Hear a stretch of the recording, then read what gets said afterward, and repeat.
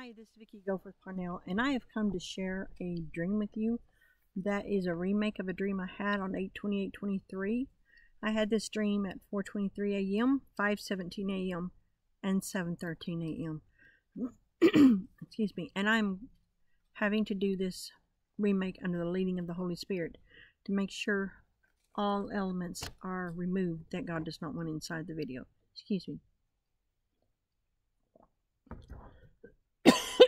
Thank you, Jesus. So, you know, I've been praying a lot, using my voice a lot in prayer, but it's all good. God is good and He is faithful. Before we start, I want to pray. Um, again, this is um, called Luke 8 17 and the fallen one, the fallen angel dream. And when you can understand that fallen angels can change their shape, change their size, be tall, be small, um, we know that Gabriel appeared to Mary in one size, but in um Luke, not Luke, Revelation, when she, talking about the seven thunders, it talks about the angel putting one foot on the land and one foot on the sea, so they can become very large. But it's Revelation; you can look it up around the seven thunders. All right, so with the Lord's help, we're going to get through this dream, and I pray for the anointing. Let's please pray and take everything that I say to the Lord Jesus don't don't just take my word for it. Seek the Lord for the truth. And understand this, when the angels fell, angels, there was more than one. And yes, they're bound, but as the end time comes, they're being released. And a lot of them are reserved under darkness. When you do a study of darkness and go back to Genesis, what darkness is, your understanding can be open to what exactly that means. But seek the Lord on that, and um, let's pray. Father God, in Jesus Christ's name, I come before you, standing on John 14, 13 through 14, which says, If I ask anything in your name, it will you will do it, and it will glorify the Father. I ask anything in your name, you'll do it. That's in my, my words of how it's written. I place us under the barrier of invisibility and stealth in Jesus Christ's name, with invoking the no retaliation, no interference, and no backlash clause that I, I read every morning that I put in program into the morning each day as the Lord leads, how He leads it each day. And Father, in Jesus Christ's name, I bind the spirit of retaliation, interference, and backlash themselves and all their subdemons. In Jesus Christ's name. Now I ask that you touch my throat, Lord. I have been praying a lot, and I do not accept anything but divine health in Jesus Christ's name. So I stand on your word that says, Be in good health even as your soul prospereth. And my soul is prospering in Jesus Christ. So it can be no other way because that is your written word. Now, in the name of Jesus, Holy Spirit, lead this prayer. I place us all under the blood of Jesus, this ministry, every site we're on, every person that reads their, their equipment, that reads or sees when they access the sites and such like my family, Father, under your blood, the blood of Jesus sealing us in it, and then I remove all traps, triggers, bombs, booby traps, and such like in all existence known to God. Because Daddy God, Father God, you exist everywhere. And you know exactly where they're at. And I am so grateful for that. Now I deprogram any charms and such like that would be sent out, that that's set on even the people that would come into the YouTube videos or Rumbles or wherever Father, in Jesus Christ's name, I deprogram all charms in advance and such like. Dismantling, excuse me, dismantling all demons, canceling all their assignments in the mighty name of Jesus Christ. It is the name of Jesus Christ where the power lies. And then I cancel them, Lord. I cancel the assignments and I send them to the abyss as I did earlier in Jesus Christ's name. Now, Father God, take this on the wind of the Holy Spirit in every direction it needs to go. And I ask that you hide this video until it's need to be seen by the enemy. Father God, if it needs to be seen. Give us understanding and open our eyes to what's really out there and what's really going on, Father. The enemy has hid in plain sight for so long, while the church has mostly been asleep. Help us to get battle ready, Father God and help us to be bride ready. In Jesus Christ's name I pray, and let your perfect will be done on earth as it is in heaven. I give you praise, Jesus, lover of my soul. my spiritual husband, my Savior, my Redeemer, my God and King. I worship you and I give you all praise. In Jesus' name, amen. All right, again, I had this dream 8 28 23, 423, 517, and 731. Today is 10 21 23, so I again I am making or doing a remake.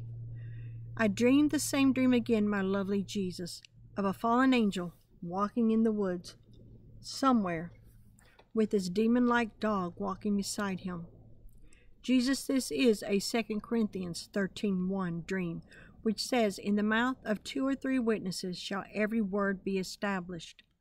So, sweet Holy Spirit, please bring it all back into my mind's eye and let me record it in this journal. Then help me to gain the full understanding in Jesus Christ's name of what Father God is showing me and what part, if any, that I need to do. Excuse me. Is begin in a thickly covered forest area. I could tell the sun was still shining by the lightness of the day that somehow managed to lighten this forest thicket I am seeing. I heard the sound of falling footsteps upon the forest ground.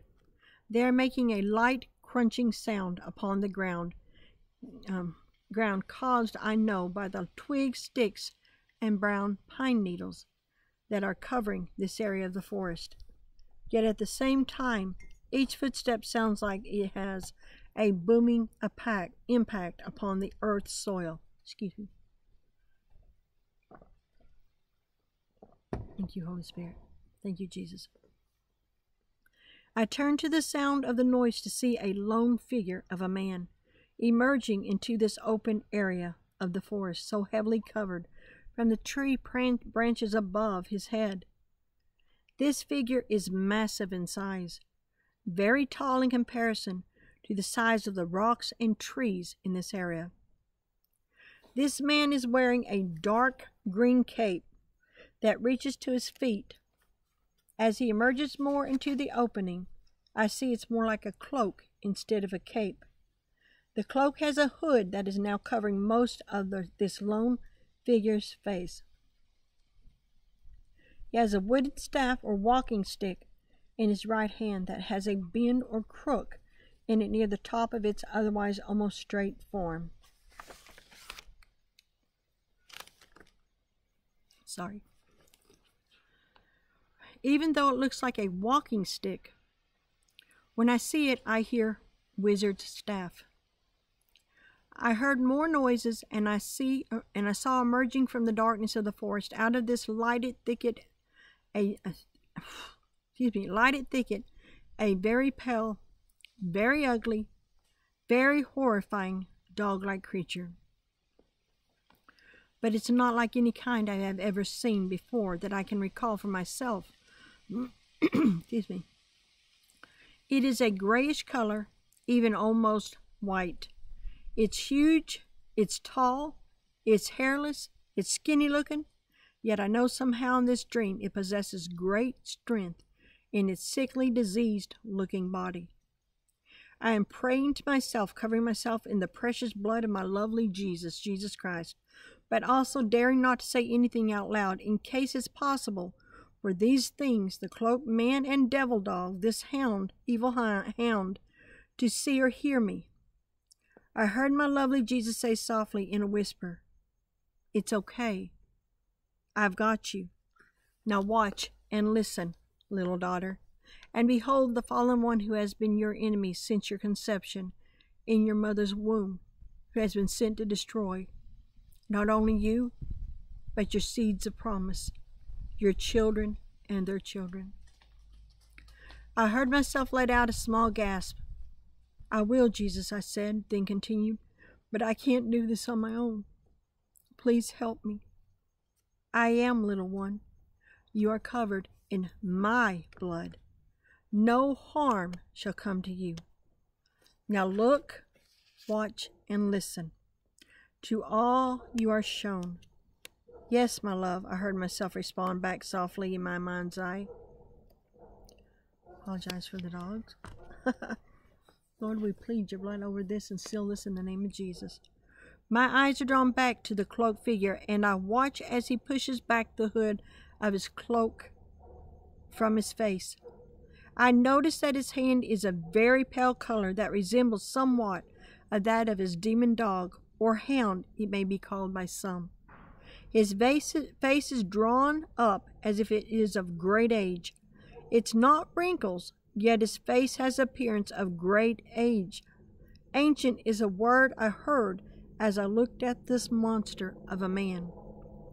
It's around the mouth and the eyes where the flesh looks like it's drawing in around these these face features. Yet the sickly colored looking skin appears smooth looking. His eyebrows are black, but his hair is white. That seems to hold no semblance of order to the wildness of it upon his head. Excuse me. My ears itching. Praise the Lord. His nose is wide with nostrils that flare out when he takes it in a breath. Protruding out of the inner nose bone looks like a baby femur leg bone. It looks unbroken, so I'm not sure how he managed to put it in his nose without one end being broken, but it is not. When I look at his eye area of his face, at first I saw empty sockets filled with blackness that chilled my spine. It's evil. If this man thing has a soul, then it's not like mine. I feel because this is black with a void that is that uh, that's of evidence where its eyeballs should be. As I'm watching, I see as eyeballs begin forming inside these holes of evil, wicked darkness. I saw the whiteness of the eyeball as the eyes are forming but it's only the outer part. The inner part, where a normal eye, iris, and pupil would be, is solid black, a deep blackness that I know is filled with pure evil. Now within them I see malignant hatred and loathing. He takes off his cloak in a quick, sweeping, angry moment and casts it to the ground. It hits with a thudding sound which made me Realize it is made of a heavy type material after throwing the staff like rod to the ground beforehand. All these actions I perceived were done in cruel hatred, and I feel it's directed at me. Excuse me. Thank you, Lord. Can he see me? Thank you, Jesus. Does he know I'm here, Jesus? Stay still in me, little daughter. Stand strong. I've got you, but you must continue to watch, look, and listen to all I show you this night, which is now your day, Jesus said. Yes, my love, I say my mind's my mind, and again turn to observe the angry giant of a man. I saw now that he is dressed in a green tunic type overshirt with a wide two inch trim of silver gray that adorns the edges of its square hem. He had matching green pants, solid in their color, with a long sleeve undershirt of the same color of silver gray that's on the tunic's edges. Upon his head and shoulders is a covering that has a look of what knights would wear under their armor, and now his white hair I can no longer see. It's all tucked inside this head and shoulder covering. I had the sense or feel it's some type of chainmail unknown to man that is spiritually enhanced to protect his head, more importantly, his mind and thoughts, as well as his chest and heart area from any attacks. It went to where his arms began their, mo- their movement and left them unhindered in moving. After throwing down the staff like stick, the wizard staff I keep hearing, I knew this man had the power of ancient magic. It seemed to flow from him. He is a fallen one, a fallen angel that fell from heaven and now is evil. I know this. Why am I seeing this? I asked Jesus to myself, careful not to speak out loud. The fallen angel turned and looked me straight in the eyes. They filled with pure hatred and malice as his face and mouth contorted and twisted in a very unnatural way for a human person. I was stunned to know that he saw me and knew I was observing him. Excuse me. Thank you, Jesus. Help me, Lord. He screamed out in a horrible screeching voice that made me recoil from all the evil and hatred I heard within it. Because you have prayed for all the hidden things to be revealed in unwavering faith in the Lamb of God's name, he spat out, and I could physically see his words go out from him that were drenched somehow in saliva and venom. But as they almost reached me, I watched as they came in contact with an invisible barrier of light. Excuse me, an invisible barrier I hadn't seen myself until that moment. The venom drenched words crumbled, then evaporated upon the ground, causing a burning, acid like effect on the pine needles and twigs that seemed to melt and sizzle. Slight traces of vapor and smoke arose from the spots where they had fallen. It seemed to enrage him even further that his words couldn't get to me. I'm stunned by all I'm seeing and hearing. Luke 8:17. Luke 8:17 he screamed in rage. You had continually prayed. Now the God of heaven said, I have to reveal myself to you and others, since you have uncovered me by the power of the written word. It's a written word of God. Which me do you want to see next? He sneered in maliciousness, and he clenched, and he changed into the form of a man I have known for a very long time. My stomach lurched inside me, and the fallen one began to laugh until I felt a hand, a gentle hand of peace touch me upon my right shoulder.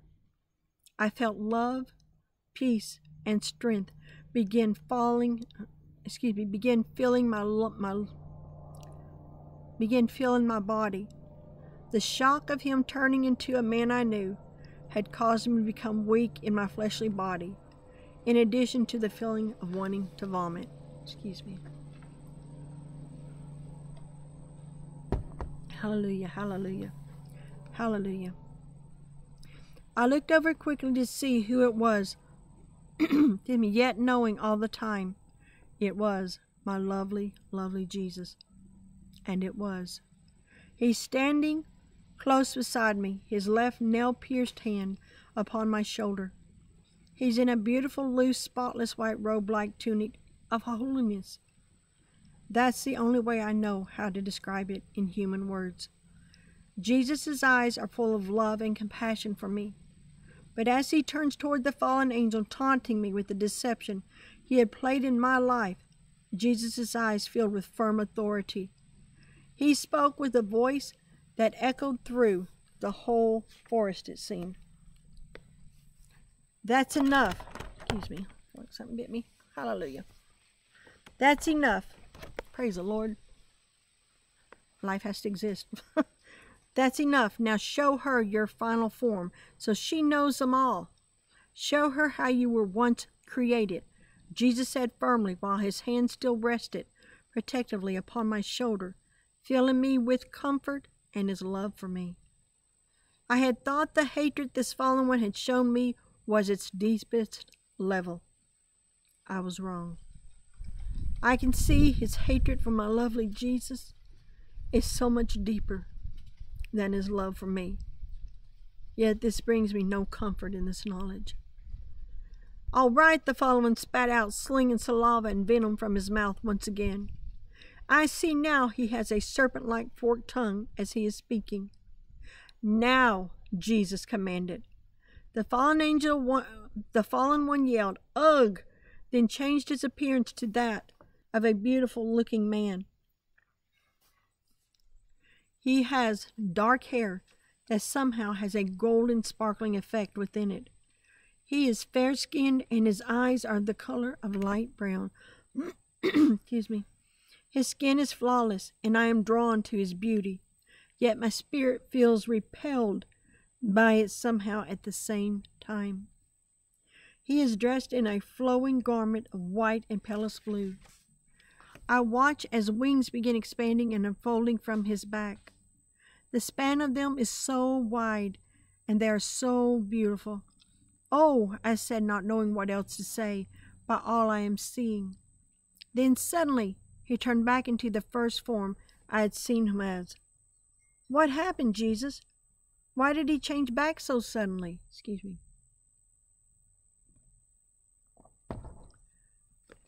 Little daughter, you have learned many things in this world, thank you, Lord, that few would dare to try to comprehend. I know critters out here, praise the Lord. Little daughter, you have learned many things in this world that few would dare to try to comprehend. The fallen ones can no longer maintain the original form of holy angel they were that they were created in for long periods of your time anymore. The evilness of sin overshadows and overcomes this form after a period of time.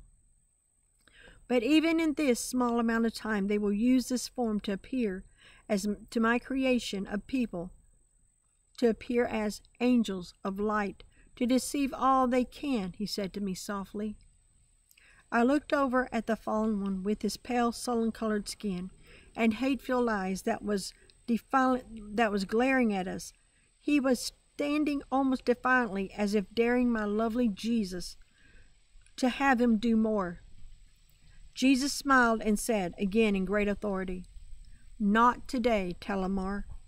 Only what is written in the hidden things have you been made to reveal. She now sees you for who you really are. Deception's veil has been replaced by spiritual, holy sight of truth.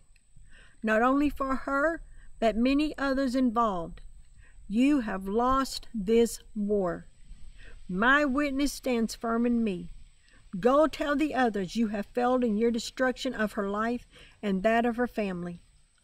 Your chances are now removed permanently from you. Know this the very children she was given became purified and holy the moment my blood coursed through the baby's veins. Her seed, her righteous seed, in me and through me, shall destroy you. They shall plow through your kingdom, and that of Satan's like no other have before. My witnesses, my 144,000, are on the move. Go tell that old serpent too you've lost, and my feet have touched down for the marching of my heavenly, hallelujah, my heavenly warriors of light. Almost instantly, the fallen angel and his now not so scary demon hound were in a flash gone. Tears had filled my eyes at my love's words. I am nothing without him. I love him so much.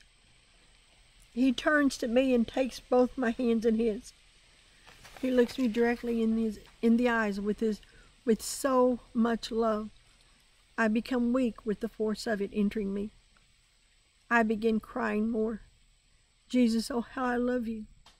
Vicki, I love you too, my warrior bride and witness. The time has come for you to leave this life behind and to walk where I have called you to walk in the fullness of me. It's time to go. Come, take my hand. It's going home time. I reach up and wipe the tears of joy and love from my eyes. He extends his right hand to me. I look at it almost in awe, then grab it firmly. Let's go, I heard myself say, and then I awoke. Three times in one night, morning, I dreamed the same dream. Three times. This dream is established in you, Jesus, and in heaven. Here are the verses. Hebrews 13, 2, Hebrews 4, 12 through 13, Hosea 12, 10, Matthew 24, 37 through 39, Ecclesiastes 1, 9, 2 Corinthians 11, 12, 15, and then 2 Corinthians 13, 1. I ask that you please take all these things to Jesus. in prayer. We have an enemy out there that's very that that is very good at what he does. Deception, deception, deceive. What what, what greater way to deceive the world than to let them think, you know, that there's not as many out there. But with all it said, remember, the name of Jesus Christ is a name above all others. You know, in, in Philippians 2, it talks about Jesus has been given a name highly exalted. But if you go back further up in the verse, you're going to see it says Christ. Christ. Jesus Christ. The power is found in the name of Jesus Christ or Christ Jesus. Jesus Christ, Christ Jesus. The, the Holy One, the Anointed One, Yeshua, Jesus Christ. All power is found in that name. Praise God. He has done everything for us that we need to live a victorious life in Him, through Him, by Him, and by His Word. Now, I, I say this again many times don't leave home without your Word. This is your sword. Don't leave home without it. All right, with that being said, if you don't know Jesus Christ as your Lord and Savior, I'm praying and asking that you accept Him today into your heart. Say this little prayer with me Jesus, forgive me of all my sins. I ask you to come into my heart and change my life. Make me new, a new creation in you. I believe and confess that Jesus Christ is the Son of God. He came in the flesh by virgin birth.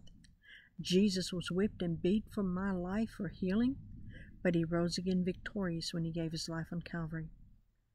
I accept you this day and confess you as Lord and Savior of my life before God and man.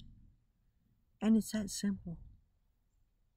It's that simple because it's through grace, it's through mercy and love that Jesus Christ did everything you needed for you to be saved, that that was needed for this world to be saved.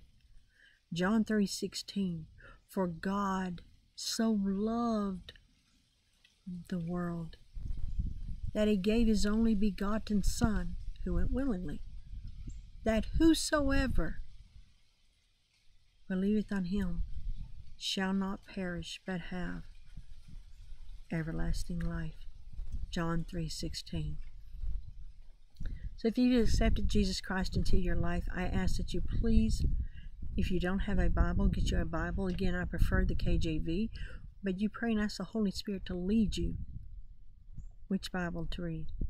Because I'm understanding that the Holy Spirit, if the Bible is of truth, whatever truth is in there of God, He can pull out.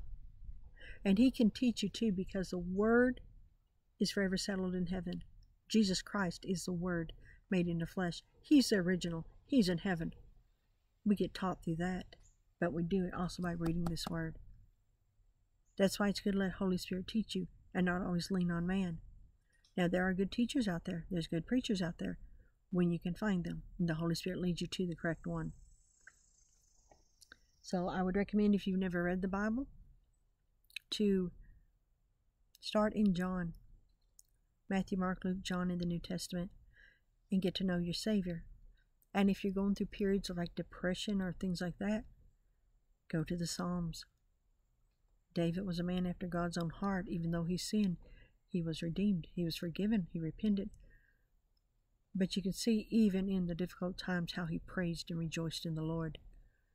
We need to encourage ourselves in the Lord Jesus Christ like he did. Everything we need, we've already been provided for. All right, if you want to contact me, um, I can be reached at the pray.856myjesus at gmail.com or on www.mylovelyjesusministry.com. There's also a link there where you can send a, a prayer, prayer email, prayer request. You want to let us know, let me know that you have accepted Jesus as your Savior, I would love to hear from you. Um, I have created on the website a page called the word of our testimony. That is going to be for testimonies that come in as the Lord leads. I will post them as I can. So if I'm overwhelmed, just know I will get them. Prayer request comes first and foremost. That that that the need, the, the prayer coming together and praying. Uh, I have placed one testimony to give an example about however the Lord leads. A testimony of what Jesus Christ has done for you, how He's moved for you, and let's encourage one another through Jesus Christ. Um, you can send those through the prayer email, but please put like testimony or something at the top so I'll understand what it is. And I, and I appreciate that and thank you.